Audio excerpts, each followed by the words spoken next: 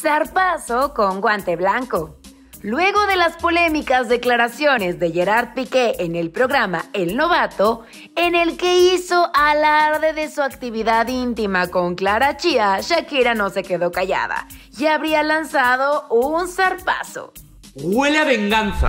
Pero no respondió como te imaginas, con otra canción llena de tiradera para el exfutbolista. Esta vez, Shakira habría respondido a su ex con guante blanco. En una reciente entrevista para una revista de circulación internacional, la colombiana recalcó que sus hijos y ella están más felices que nunca, lejos de Barcelona, el país donde vive Piqué y su novia. Si te vi, ni me acuerdo. Alguien tenía que poner ese en su lugar.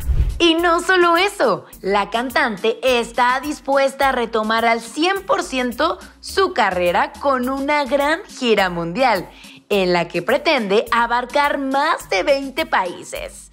Ya no llora las decepciones, ahora las factura por todo lo alto. A principios del próximo año espero lanzar el nuevo disco y luego habrá una gira mundial, la más extensa e importante de toda mi carrera. No cabe duda que la loba está de regreso y ya sacó las garras.